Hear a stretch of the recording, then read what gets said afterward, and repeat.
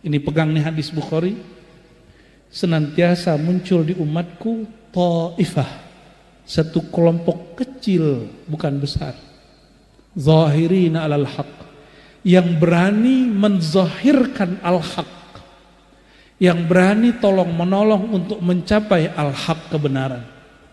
Mereka tidak merasa benar, mereka berusaha mencapai kebenaran. Cuma Taifah selebihnya silent majority. Selebihnya diem, sukut.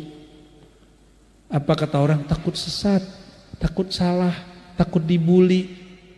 Sedangkan Taifah ini nggak nggak takut apa-apa. Dan saya berdoa awal dengar hadis ini langsung saya doa, ya Rob, ij'alni min haula'it taifah. Jadikan aku dan saudara-saudaraku bagian dari kelompok itu. Amin ya rabbal alamin. Al-Fatihah. Bismillah.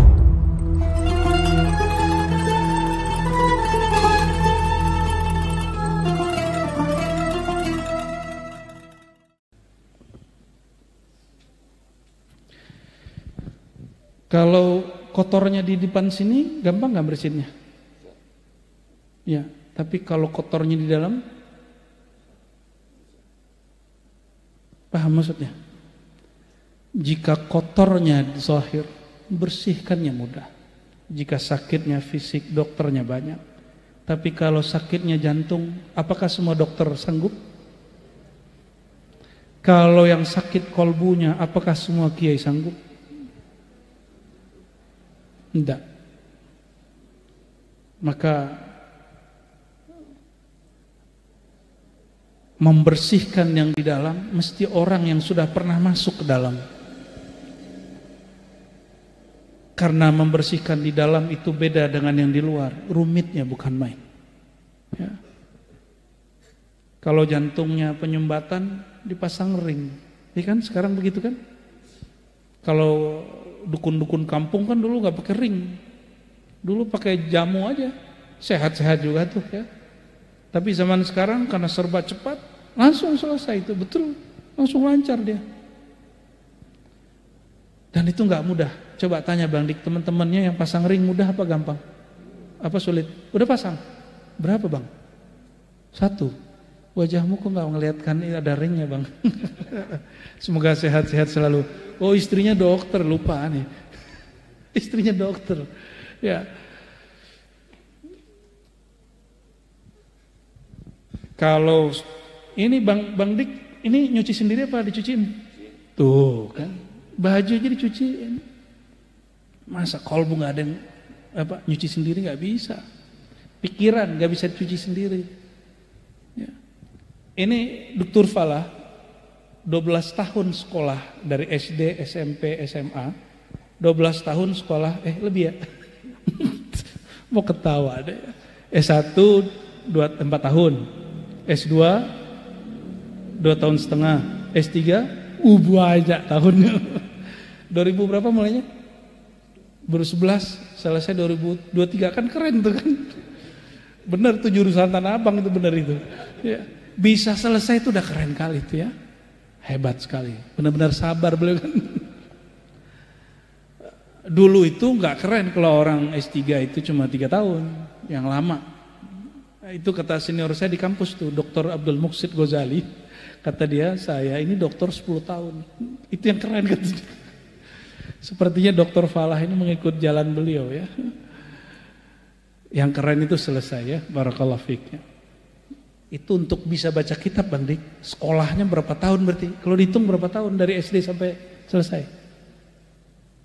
Berapa tuh? 30 tahun. Ya Rob. 3, 30 tahun ya? Dengan sama SD-nya. Itu baca kitab. Bang Dik pernah nyantri gak? Hmm? Artis jadi ustad. Ini kan, ini kan dia kan jadi ustad nih. Mohon maaf nih. Dulu saya ngaji, Bu ya. Ngaji apa? Pesantren kilat. Ya, Alibata itu. Oh. Tapi begitu baru ngaji, lempar penghapus. Setelah itu saya nggak ngaji lagi. Hmm. Kira-kira kalau artis begini jadi ustad, dia bisa baca kitab begini nggak? Jadi wajar nggak kalau wawasan, mohon maaf, ex artis jadi ustad itu Ya terbatas yang ditonton di YouTube dan buku terjemahan. Ya, ini mohon maaf nih, aku uh, apa clear aja ya. Harus diomongin tuh. Iya. Ya.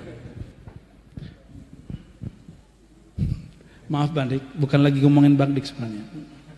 Saya paham. Ya, paham. Jadi wirid ikhlas itu apa? La ilaha Obat itu ada yang dibeli di warung, ada yang di, di, diambil dari apotek. Ngambil dari apotek, ada yang resep dokter, ada yang beli-beli aja. Mana yang ampuh? Resep dokter. Betapa tidak adilnya manusia untuk badannya dia resepkan dengan dokter dengan ahli, untuk kolbunya dia tidak pakai resep, untuk otaknya dia nggak pakai resep. Ya, saya mah ngaji-ngaji sendiri aja. Hmm. Quran langsung saja ke Quran, nggak usah lewat ustadz. Ustadz tuh banyak pikirannya, banyak alirannya, langsung saja kepada Al-Quran dan Sunnah. Banyak nggak begitu hari ini? Ternyata baca buku terjemahan.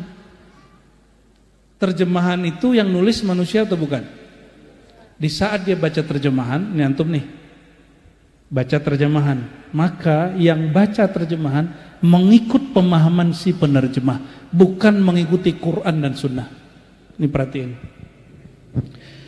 Yang paling lucu, si X itu juga, X artis itu, ya, apa kata dia? Gak usah ikut Ustadz, gak usah ikut mazhab.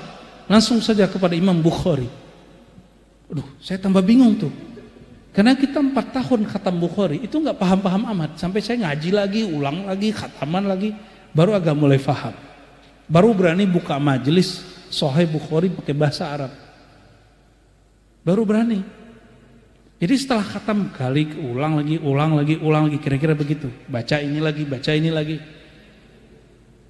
Terus dia bilang, cukup baca Sahih Bukhari.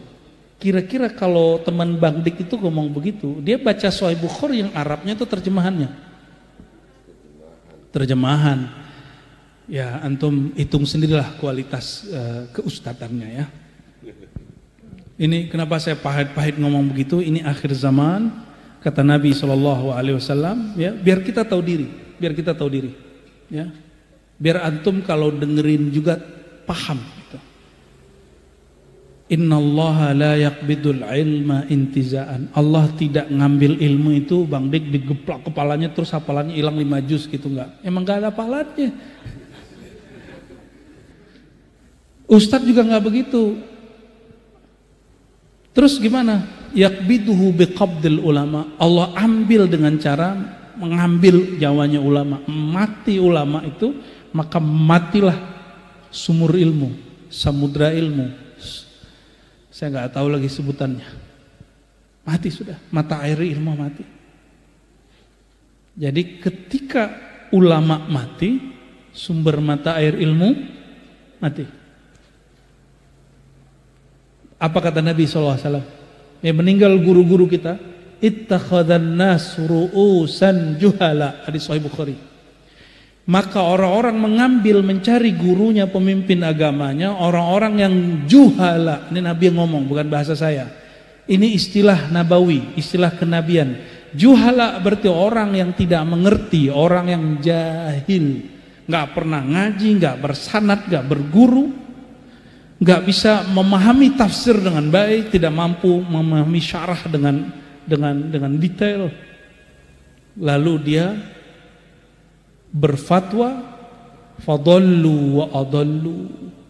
Mereka keliru lalu mereka ajak orang untuk ikut keliru.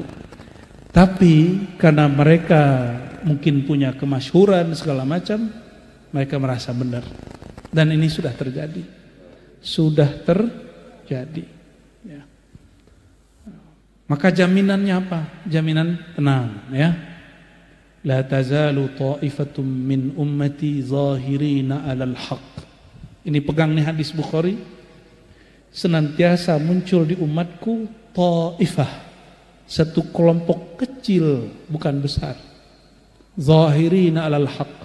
Yang berani menzahirkan al-haq. Yang berani tolong menolong untuk mencapai al-haq kebenaran. Mereka tidak merasa benar, mereka berusaha mencapai kebenaran. Cuma Taifah selebihnya silent majority. Selebihnya diem, sukut. Apa kata orang takut sesat, takut salah, takut dibully. Sedangkan Taifah ini nggak nggak takut apa-apa. Dan saya berdoa awal dengar hadis ini langsung saya doa, ya Rob ij'alni min haula'it taifah. Jadikan aku dan saudara-saudaraku bagian dari kelompok itu. Amin ya rabbal alamin. Al-Fatihah. Bismillah.